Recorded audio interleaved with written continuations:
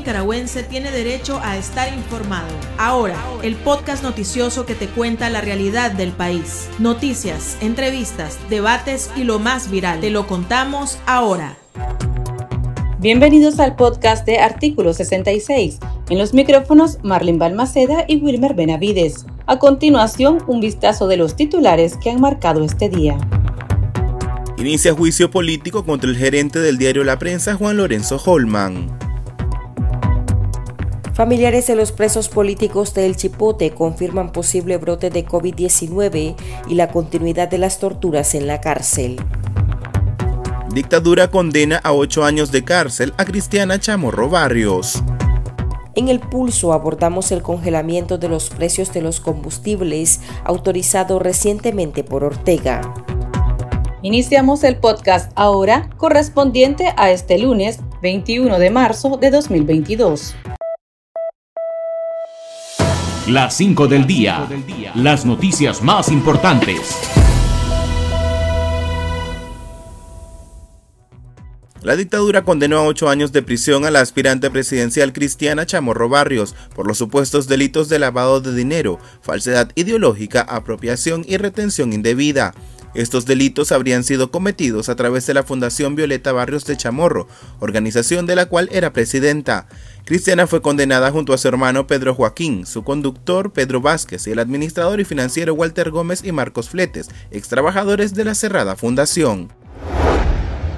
Inició el juicio político contra el gerente general del diario La Prensa, Juan Lorenzo Holman, acusado de supuesto lavado de dinero. La audiencia se realizó en el interior del complejo policial, conocido como el Nuevo Chipote, donde se encuentra encarcelado desde agosto de 2021, cuando el régimen arremetió directamente contra el diario y se tomó las instalaciones del mismo. El Centro Nicaragüense de Derechos Humanos calificó el proceso de farsa judicial y subrayó que el preso político de 55 años presenta un alarmante deterioro en su salud. Ha perdido 24 libras de peso, tiene una protuberancia en el abdomen, dolor en la ingle, hongos en las manos y pies, problemas cardíacos, presión arterial y aparentes problemas de próstata. Los familiares de los presos políticos del nuevo Chipote lograron verlos por sexta vez entre el 17 y el 19 de marzo. Durante la visita comprobaron que se siguen vulnerando sus derechos fundamentales, además de ser sometidos a procesos judiciales arbitrarios. Permanecen encarcelados en condiciones completamente inhumanas. Escuchemos parte del comunicado leído por Ana Lucía Álvarez, hermana y sobrina de las presas políticas Tamara Dávila y Ana Margarita Vigil. Hemos observado un deterioro general de la salud además del agravamiento de las enfermedades crónicas que algunos padecen. Todos presentan problemas debido a las condiciones en las que son mantenidos, como hongos en la piel, eczemas y síntomas compatibles con el COVID-19. Víctor Hugo Tinoco además presenta una parálisis facial en etapa inicial que de no ser tratada adecuadamente puede agravarse en combinación con sus otras enfermedades preexistentes. El sociólogo y economista Irving Larios mostró sintomatología asociada al COVID-19 desde el 8 de marzo. La situación del preso político no fue informada a sus familiares y el opositor de 63 años tuvo que permanecer mal de salud y sin atención médica hasta por seis días. Los parientes de Larios demandan que se le otorgue detención domiciliar debido a las diferentes afectaciones que padece. Este día, la Comisión Interamericana de Derechos Humanos dio a conocer que el opositor Lázaro Ernesto Rivas Pérez, detenido en 2020, fue beneficiario de medidas cautelares por encontrarse en una situación de gravedad y urgencia de riesgo de daño irreparable a sus derechos. La Unidad Nacional Azul y Blanco realizó este día la instalación de su nuevo Consejo Político para el periodo 2022-2024. Los 10 miembros elegidos son parte de las distintas organizaciones que conforman el bloque opositor. A su vez, la UNAP decidió dejar los nombres de los cuatro presos políticos que integran el Consejo Político antes de su arresto arbitrario, Tamara Dávila, Roger Reyes, Alex Hernández y José Antonio Peraza. El nuevo Consejo Político trabajará en ejercer presión nacional e internacional, acompañar a la ciudadanía en las acciones contra el régimen y mantener vivas las voces de las víctimas, entre otros propósitos. El pulso. Le medimos el ritmo a la realidad.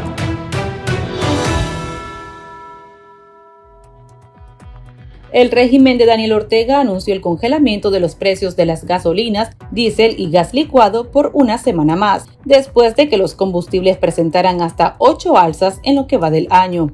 A través de un comunicado se informó que Daniel Ortega, presidente ilegítimo, instruyó al Ministerio de Energía y Minas y al Instituto Nicaragüense de Energía comunicar que los precios permanecerán sin variar en esta semana.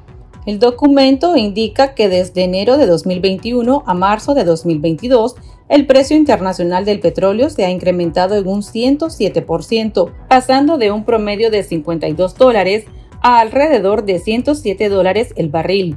Las autoridades indicaron que los incrementos obedecen a causas externas. Con esta medida ya serían dos semanas en que los precios de las gasolinas permanecen sin variar. Los costos superan los 40 córdobas el litro, equivalente a más de un dólar. El consultor en derechos del consumidor, Juan Carlos López, refiere que debería presentarse el mecanismo de esta medida y adoptar otras alternativas. El congelamiento es una medida eh, específica para no incrementar de manera abrupta el precio de un producto, en este caso los combustibles. Recordad que semanalmente hay aumento en los tales precios y ese aumento lo que repercute en Nicaragua, hablando en Nicaragua, porque la crisis del petróleo y de energía eléctrica es a nivel mundial y sobre todo en países donde no son productores de petróleo y países que no son generadores de energía de forma abundante, me explico, y las bandas de precios son, te golpean. En pocas palabras, hablemos de Nicaragua.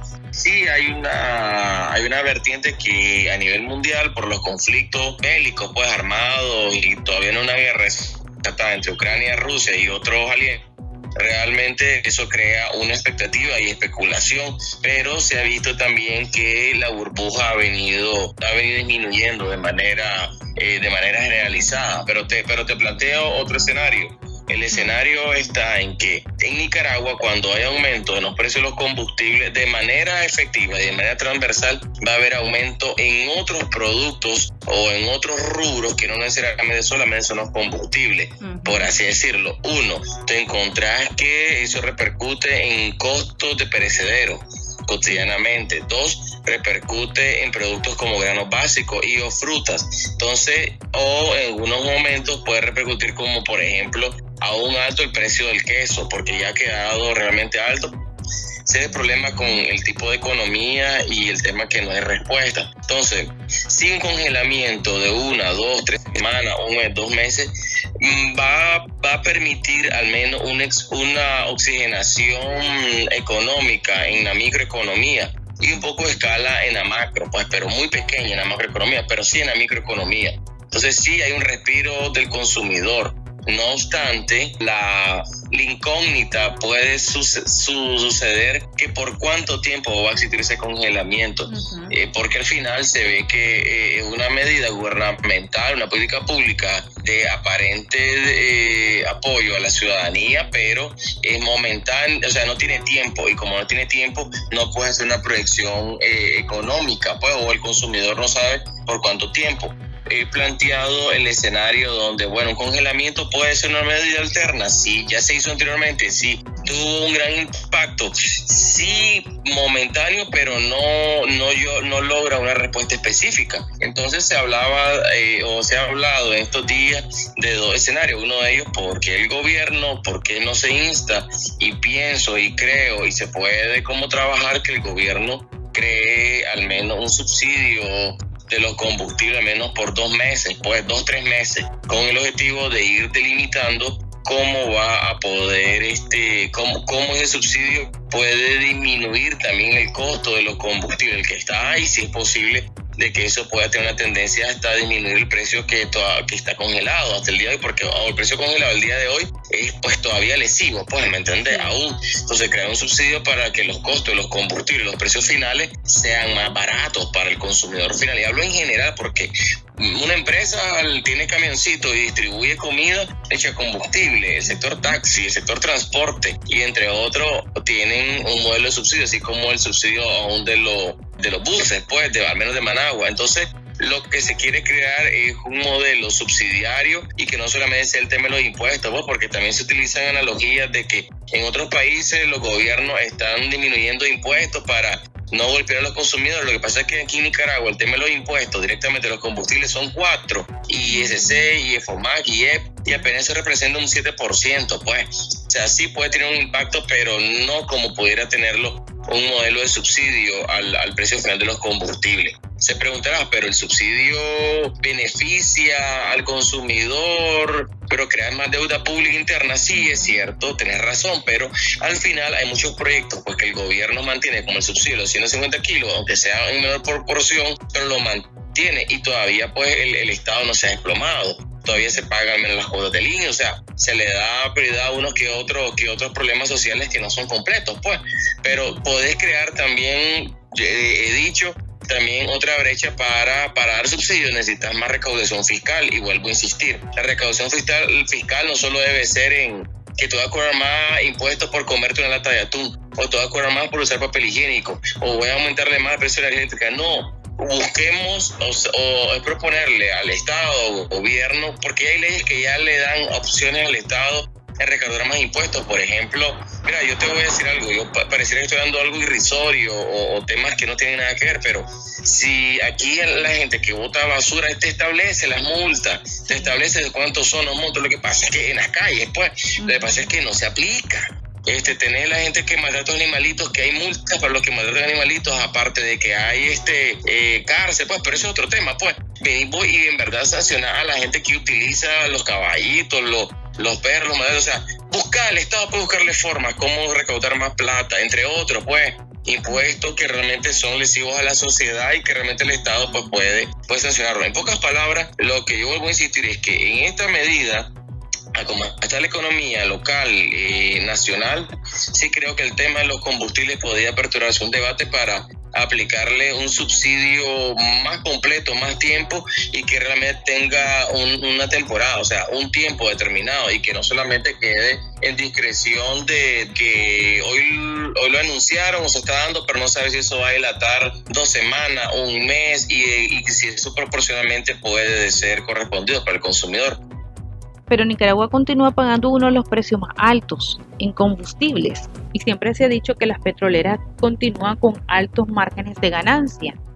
Si me preguntas el tema de los costos de los combustibles, yo siempre he planteado desde hace años de que el tema de los combustibles en Nicaragua es porque la forma operativa del mercado de los combustibles en Nicaragua es eh, las gasolineras se ponen de acuerdo para realmente establecer un precio entre ellas mismas y, así la competencia, no hay competencia y eso hace que la fijación de precios de los combustibles pues no, no permita también que, que, el consumidor tenga mejores oportunidades. Pues ese también es otro tema, pero no lo vamos a cambiar de noche a la mañana. Es un tema de debate durante meses, meses, Asamblea Nacional, una postura política pública del Estado, gobierno, de cambiar la forma de, de, hacer negocio en ese tema. Pues. Entonces, no creo que vaya a ser inmediato, no, sé si en realidad el gobierno tenga, tendrá interés o, o, en verdad quisiera cambiar la matriz económica, el tema de los combustibles, pues pudiera hacerlo, pero seguro que eso es para mucho tiempo y no es una medida inmediata, por, así planteártelo. Pues.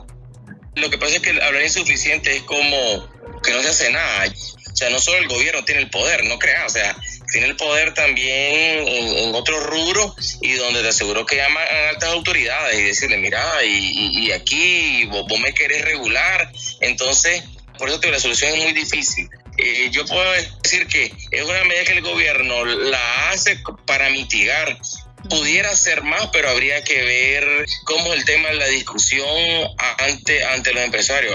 A, mí, yo, yo te digo, sería súper interesante, más allá de lo que hablamos ahorita, que qué te diría un propietario de concesionario de gasolinera. Y, que explicar y que comentara por qué aumentan los precios y cómo funciona completamente, que ellos dijeran, es que le aumentamos porque tenemos esta, esta fórmula matemática y que sea pública, ¿ves?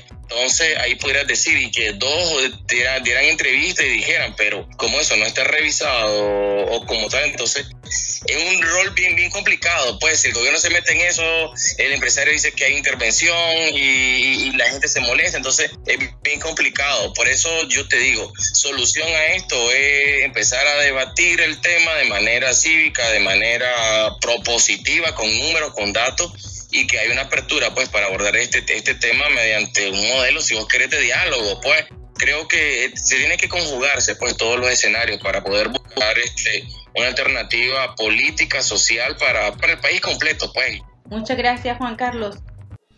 Para estar al tanto del acontecer nacional y conocer las voces calificadas sobre la realidad nacional, ahora el podcast informativo sobre Nicaragua.